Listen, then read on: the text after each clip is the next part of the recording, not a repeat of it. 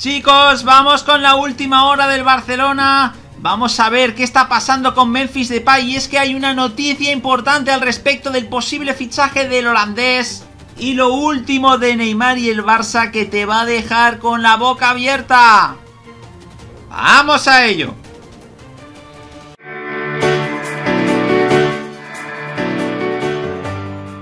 Hola de nuevo chicos, ¿cómo estáis? Bienvenidos de nuevo a otro vídeo para el canal. Vamos a analizar la última hora del Fútbol Club Barcelona. Vamos a ver varias noticias, por tanto te animamos a que te quedes hasta el final del vídeo y a que nos dejes un buen like. Sin más dilación, vamos a analizar la primera noticia y vamos a ver en concreto qué jugador es el que ha sorprendido más a Ronald Koeman estos primeros meses del holandés en el Barça. Durante la entrevista concedida a Mundo Deportivo, el técnico del Barça reconoció que ha sido el joven mediapunta Pedri, el futbolista de la plantilla que más le ha sorprendido. De momento el canario acumula 10 partidos en los que llevamos de curso con dos goles. Comentó al respecto, sobre todo por no conocerle más. El jugador que más me ha sorprendido es Pedri. Sabía que el Barça lo fichó de Las Palmas y había visto imágenes de su juego, un poco, pero creo que nadie esperaba su mejoría, su trayectoria hasta ahora. Con 17 años, jugar y entrenar con los mejores futbolistas en el Barça con el rendimiento que está dando es para estar contento. Esto es lo que dijo, por tanto, Kuman sobre Pedri. Vamos con la siguiente noticia. Vamos a hablar de otro de los fichajes de las jóvenes promesas que tiene el Barcelona y es que se ha ofrecido incluso Serginho Dest para el lateral izquierdo, y es que el lateral derecho estadounidense del Barça ha concedido una entrevista a ESPN desde la concentración de la selección americana, con la que ha querido hacer repaso de sus primeras semanas como futbolista azulgrana, habiendo tenido ya sus primeras oportunidades para empezar a justificar los 20 millones de euros que pagó el conjunto azulgrana para hacerse con el futbolista del Ajax, satisfaciendo así una de las principales peticiones del técnico holandés Ronald Koeman. Comentó Serginho, cuando uno llega a un nuevo equipo debe encontrar su sitio y tratar de jugar lo máximo posible. Por eso al principio quiero jugar sin presión, conseguir mi lugar, obtener la química necesaria con mis compañeros y luego crecer más y más en el equipo. Kuman me dio confianza y ahora depende de mí. Tengo que jugar buenos partidos para aprovechar las oportunidades que el Mister me está dando desde que llegué, sentenció, por tanto, Serginho Dest. El americano también habló de su rol en el Barcelona, sorprendiendo al afirmar que no tiene problema en jugar a banda cambiada en la parcela defensiva si fuera necesario en algún momento de la temporada. Comentó al respecto, siempre trato de trabajar en mis habilidades con el balón para tener más confianza, ya que así es más fácil jugar con grandes jugadores. Para mí no es problema jugar de lateral izquierdo o derecho, porque juego donde el entrenador me necesita. Si tengo que jugar de banda izquierda, juego de banda izquierda. Me siento más cómodo en el lateral derecho, pero no me importa cambiar de banda porque solo quiero jugar.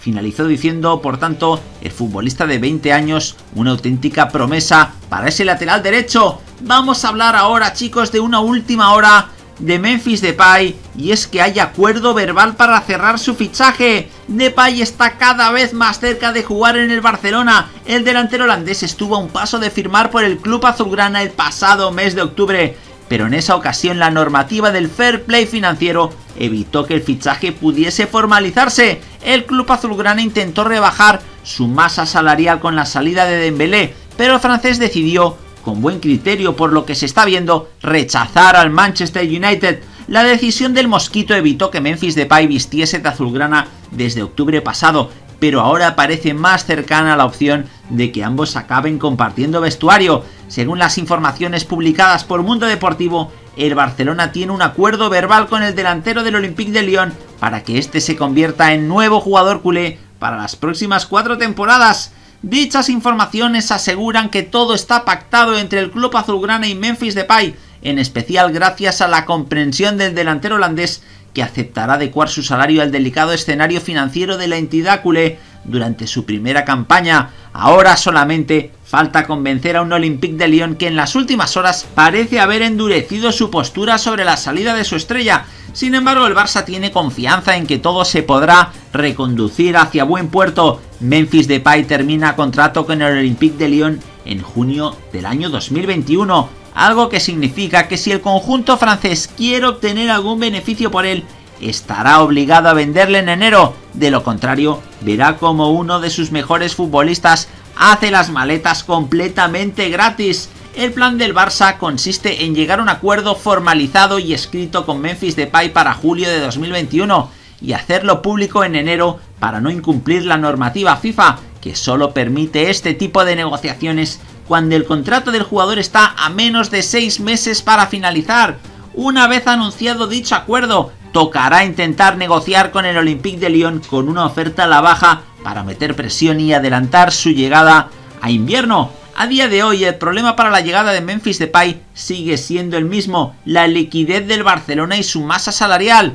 Pese a que el holandés adecuará su sueldo, como decimos en la primera campaña, el club culé debe desprenderse de algún futbolista para que llegue el holandés. El elegido sería Martin Bradwhite, un jugador que vería con buenos ojos salir a un club que le diese minutos y que podría dar margen al club para fichar. Por tanto, esto es lo que dice Mundo Deportivo, acuerdo verbal entre Barcelona y Memphis Depay. Vamos ahora, chicos, acabar hablando de Neymar y el Fútbol Club Barcelona. Y es que no hay forma de que el Barça y Neymar separen sus caminos. Desde que se fue al PSG por 222 millones, el brasileño siempre ha estado en boca de todos por un posible regreso a la ciudad condal.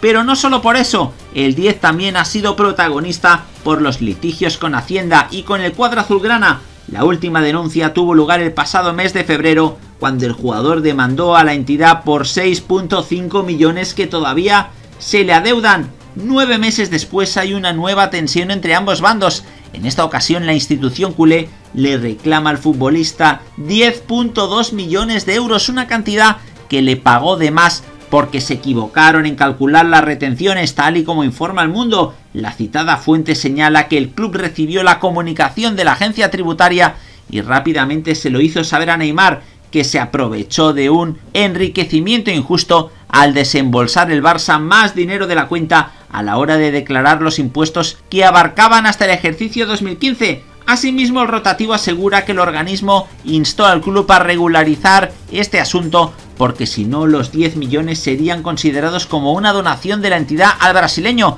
que adeuda de por sí 34.6 millones Hacienda. Por tanto, chicos, otro lío. En este caso al revés, Neymar primero pedía 6.5 millones de euros al Barcelona, ahora es el Barcelona que le pide 10 millones. Nos gustaría saber vuestra opinión al respecto. ¿Qué os parece este nuevo encontronazo entre Neymar y el Barcelona?